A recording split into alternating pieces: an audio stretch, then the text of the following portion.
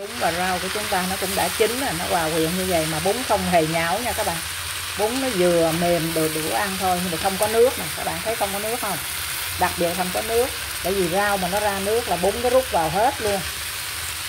Mình không có làm bún bằng nước sôi đó là bí quyết xào bún của mình. Mình ăn nhiều quá mình rút kinh nghiệm các bạn ơi. Rồi, xong rồi xin mời thôi. Bây giờ đậu hũ mình sắc ra như thế này nè các bạn mình sắc mỏng ra. Mình đem mình chiên vàng nha.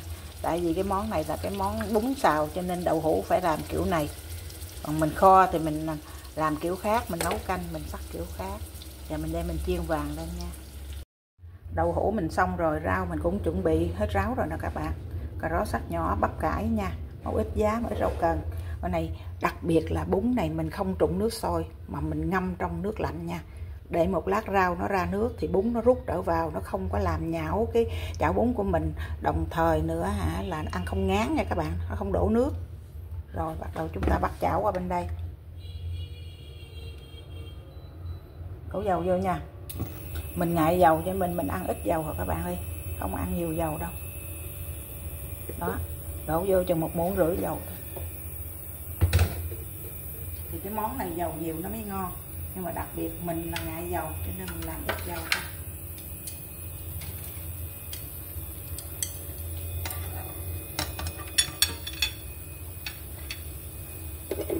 Mình không khử hành tỏi nhiều, bởi vì mình làm cho cái người bệnh ăn nha các bạn. Ruột kích thích, không ăn hành tỏi nhiều các bạn ơi, không ăn dầu nhiều luôn. Béo phì mình cũng bớt hành tỏi đó rồi, những cái rau nào mà cũng um, cứng cứng thì mình bỏ vô trước nha.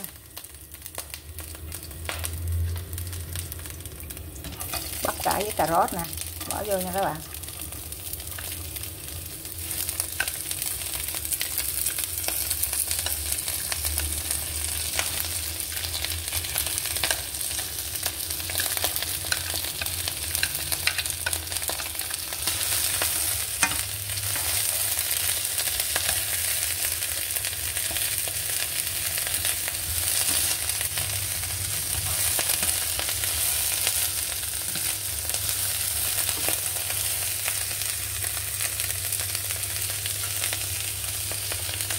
Hết vô luôn. Giá mình để sau ha. Cần với giá mình để sau. Bắp cải nó cũng hơi lâu chín nha các bạn.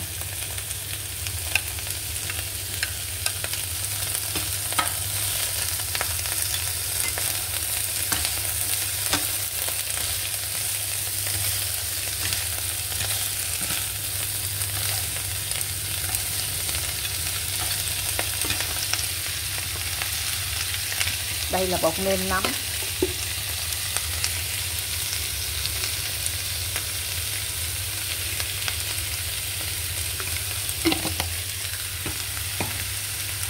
Tiêu nha.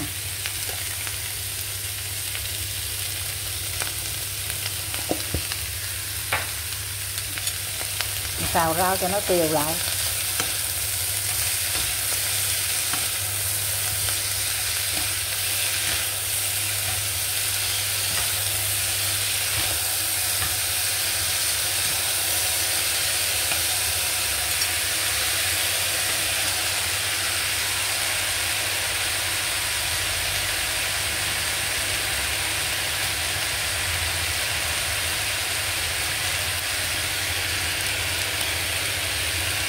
Bạn bỏ vô một chút xíu đường mà đường này này nha, đường bắp này.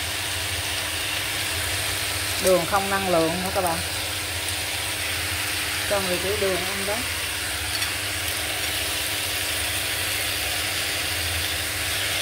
Rồi rau nó cũng xìu rồi, bây giờ bỏ hết những rau này vô, còn lại vô nè.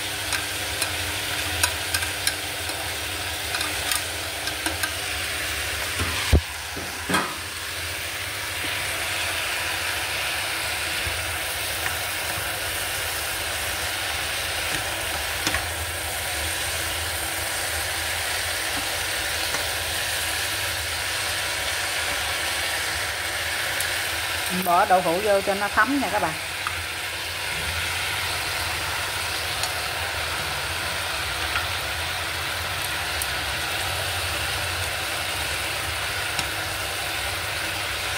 Mình không có đợi rau chín, mình bỏ um, cái bún vô trước để cho bún nó mềm. Bỏ bún sớm sớm nha các bạn, đừng đợi rau chín nha. Chúng ta có một cái chảo bún rất là ngon ha.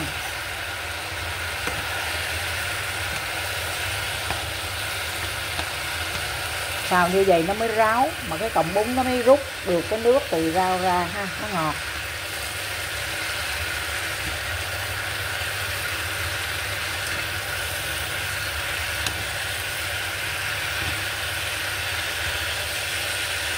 Đây là cái bí quyết của mình mẹ mình dạy mình đó.